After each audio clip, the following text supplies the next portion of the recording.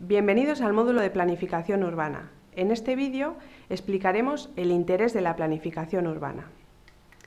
Antes de la revolución industrial, las ciudades crecían a un ritmo natural, es decir, poco a poco o al menos a una velocidad asumible. En ese momento, las ciudades eran sistemas equilibrados económica y socialmente y que además respondían al entorno natural sobre el que se asentaban. A raíz de la revolución industrial, las ciudades se convirtieron en sistemas complejos y además cambiantes en el tiempo cada vez a mayor velocidad.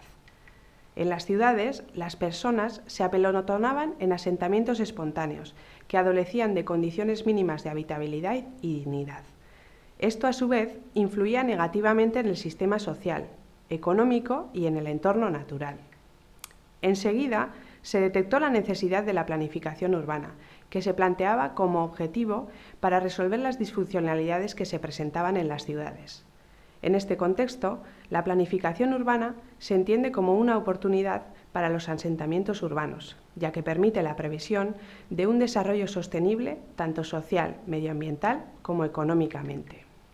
Pero, ¿para qué es necesaria la planificación urbana? La planificación urbana es necesaria porque permite prever las necesidades de vivienda, permite prever los servicios públicos necesarios, permite dirigir y estabilizar el desarrollo económico de la, de la, comunidad y además, por último, permite atender a las necesidades anteriores teniendo en cuenta el entorno natural. Muchas gracias.